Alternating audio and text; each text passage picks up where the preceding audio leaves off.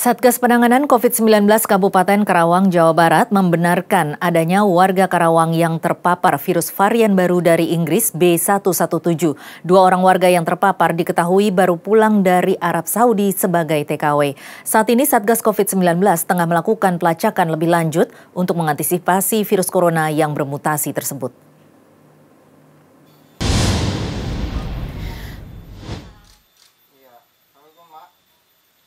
PLT Kepala Dinas Kesehatan Kerawang, Jawa Barat Nanik Jojana menyebutkan adanya dua warga yang berasal dari Kecamatan Lemah Abang berinisial M, 40 tahun dan warga asal Kecamatan Pedes berinisial A sempat terpapar virus varian baru B117. Kedua tenaga kerja wanita itu datang ke tanah air secara berturut-turut pada 28 Januari dan 31 Januari 2021. Mereka tiba menggunakan pesawat di Bandara Soekarno-Hatta. Setelah mendarat, semua penumpang menjalani tes kesehatan dan ternyata kedua TKW itu terkonfirmasi positif COVID-19. Selanjutnya, mereka dibawa ke daerah Pademangan, Jakarta untuk menjalani isolasi. Dari hasil pemeriksaan, tim medis dari Kementerian Kesehatan melakukan uji laboratorium terhadap sampel droplet. Ternyata dari uji whole genome sequencingnya diketahui kedua TKW itu telah terpapar corona varian baru asal Inggris.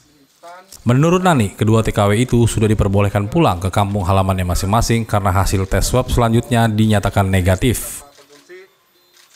Kabar dari Kemenkes bahwa tanggal 28 Januari eh, 2021 ada Qatar Airways datang dari Arab Saudi di situ mengangkut eh, TK, TKW ya di mana penerbangan tersebut ada 49 orang diketemukan tujuh